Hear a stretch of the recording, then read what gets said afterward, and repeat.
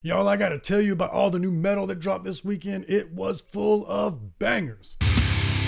Welcome, metalheads. I'm the host of Heavy Metal Philosophy and writer for Metal Digest, Jon Barbas. Make sure you stick around to the end of the episode for this week's album art of the week, and I've got some news to talk about. But as always, I'm bringing you my top five favorite metal albums that dropped this weekend. But before we do the top five, as is customary, I always talk about the big bands. And this week we got a new album from Chelsea Grin. It's called Suffer in Heaven. It's my latest assignment for Metal Digest. I just got done writing my review that should be published in the next maybe at the time of this releasing, maybe tomorrow, I'm not sure.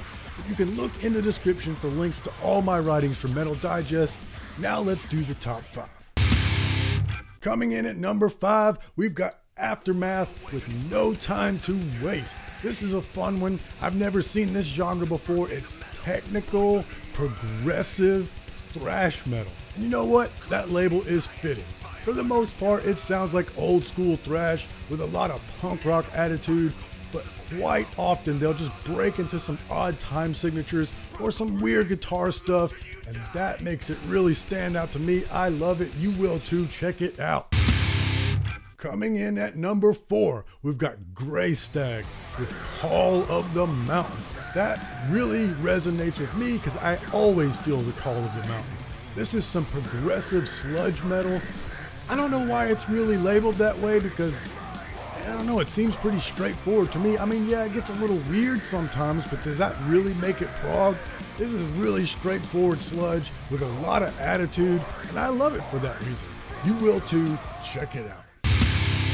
Coming in at number three, it's Kruelty with a K like Mortal Kombat. The name of the album is Untopia, and this is death metal. If you don't quite get the spelling, no problem. Text on the screen, and as always, the links to every band's Bandcamp will be in the description for you to find. I really like this one because it's death metal and I love death metal, but this is quality death metal. It's got a nice groove to it, and I love that there's two different vocal styles going on. Not sure if they've got two singers. It sounds like maybe they've got two singers, but that gives it a little variety and a dynamic boost every time that they trade off with each other. I really dig it. Check out this insanely chaotic album art. Death metal, y'all.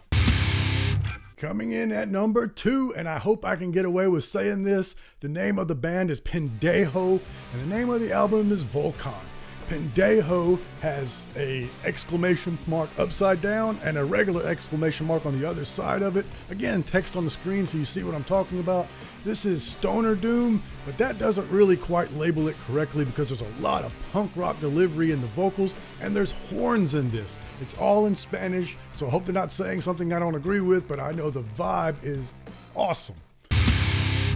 And hey, before we do number one, if you love metal the way that I love metal, you're in the right place and you should join the heavy metal philosophy community. Especially, you don't want to miss next week's podcast because on Tuesday, I'm going to release the next episode of the podcast where I will break down my experience, my first time experience in the photo pit of a concert. I got the extreme privilege of getting a press pass and taking photos for Rotting Christ, Carach Angren, Uada, and Gaerea. I mean, how's that for a first gig?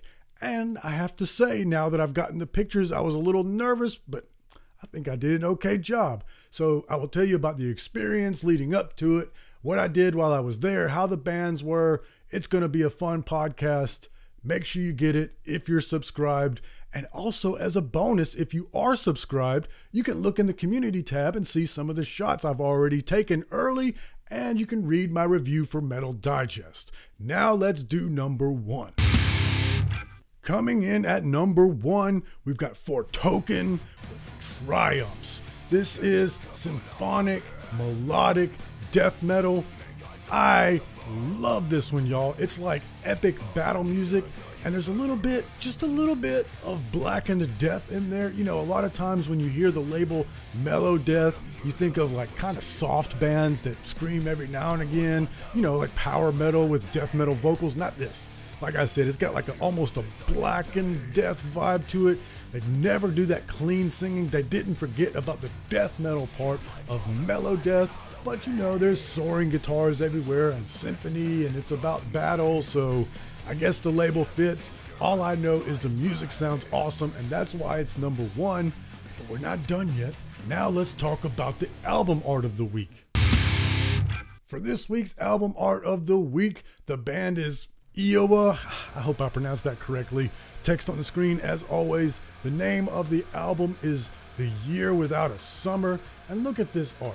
You've got a person holding another person in a, in a sorrowful embrace in a barren field. And when you Google The Year Without a Summer, not only will you get this album, but it'll also bring up an article about the year 1816 where global temperatures dropped by almost an entire degree Celsius and it was still on record the coldest summer ever in European history.